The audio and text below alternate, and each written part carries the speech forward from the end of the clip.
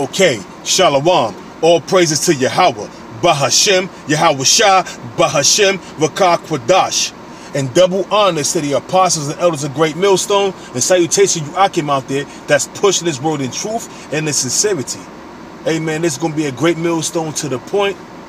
And without further ado, I'm going to get straight into these scriptures. This is um this is um Isaiah chapter 55 verse 6. Seek ye the Lord Yahweh while he may be found. How can you find the words of the Most High? How can you find? How can you seek the? How can you seek the Most High? Do his prophets that's out there on the highways and the byways, starting with the apostles, on down to the elders and the men and the teachers out there that's pushing the word of Yahweh Yahweh Shah on the highways and the byways.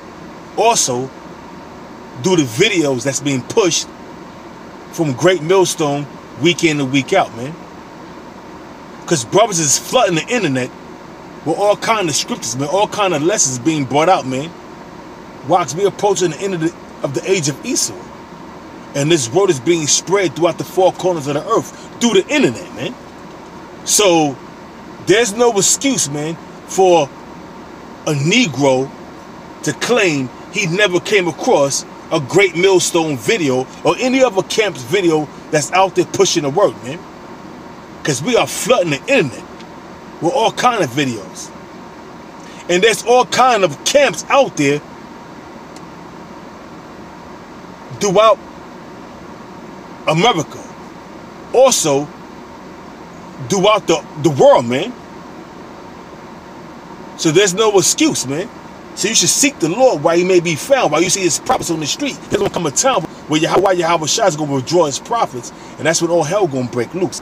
It says back in Isaiah chapter 55, verse um, 6, Seek ye the Lord Yahweh while he may be found, call ye upon him while he is near. Meaning calling upon the name of the Most High, putting up prayers, you know, calling upon the name of Yahweh while Yahweh Shah, in truth and in sincerity, putting up your prayers,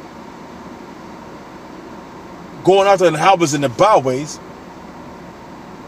putting up your prayers for the Spirit to be on you to go out there and teach this word. You understand what I'm saying? Because we're approaching the time where the Most High is going to withdraw his prophets. For you Negroes out there, Hispanics, Native Americans, to seek the Most High. To seek the Lord Yahweh while Yahweh Shah, why he may be found, man. Why his prophets are on the highways and the byways pushing the word, man. Because it's going to come a time where the Most, where the most High Yahweh, why Yahweh Shah is going to withdraw his prophets. It says, verse 7, Isaiah 55, verse 7, Let the wicked forsake his way. You wicked ass Negroes, especially Native Americans that's, that's out there committing adultery, being gangbangers, forsake all that bullshit and seek the Most High Yahweh Yahweh Shah if you're a part of the elect. Because if you're a part of the two-thirds club, you're going to continue your wickedness and continue to be blind until them nuclear missiles come destroy your ass, man. Or before them nuclear missiles destroy your ass, you get caught up in a concentration camp, die by the famine, die by the sword, by the way of the hands of Esau or another wicked ass nigga such as yourself. So it says, let the wicked forsake his way if you're part of the elect. You're going to forsake this world and come into the knowledge of the truth, man. It says, and the unrighteous man, his thoughts. All the wicked thoughts that come in your mind, man. You got to erase that, man. You got to become a new creature, man. You got to be born again, you know, spiritually, man. With the renewing of your mind and think of these scriptures, man. Day in and day out, man, I ponder upon scriptures, man. Day in and day out, I give praise to Yahweh why Yahweh Shah, man. Why? Because I'm seeking to be saved, man. You know? I'm salvation, man. And I'm quite sure you I came out there feel the same way I feel, those that sincere. And it says, um, Isaiah 55, verse 7, let the wicked forsake his way, talk about you wicked ass Negroes and Spanish Native Americans. That's a part of the two thirds. And the unrighteous man, talk about the two thirds also, his thoughts, and let him return unto the Lord Yahweh, and he will have mercy upon him, and to the to our power, for he will abundantly pardon. If you come back into this, if you come back into the fold and acknowledge that you're an Israelite and call upon the names of Yahweh, Why Yahweh Shai in truth and sincerity, the Most High is going to pardon all your iniquities, man. If you be if you be a part of the elect. Like I said, man, we're approaching the time where Esau, the so-called white man, is going to start showing his horns. The Most High Yahweh is going to allow Esau to show his horns. Hence, Jacob's trouble. The second book of Ezra 15 and 16, Jeremiah 30 and 7, Daniel 12 chapter 1. Just like it, Daniel, the 12th chapter, the first verse on down, man. You see what I'm saying? Jacob's trouble is fastly approaching. But you Negroes and Spanish Native Americans, you're not looking to seek the Lord Yahweh Yahweh Shah. You're looking to the ways of Esau, the so-called white man. You're drinking that Babylon juice because, because Donald Trump saying he's going to make America great again. Because you're a part of the two-thirds, man. And the same spirits was back then the time of Yahweh Shah is the same spirit today. Because there's something called reincarnation, which is the scriptures. So this is to be my, you know, last scripture real quick. Then we'll close it out. Because this is, this is a great millstone to the point. So um, this is um, Isaiah, the, the um, 33rd chapter, Isaiah 33, verse 6. It says, And wisdom and knowledge shall be the stability of thy times.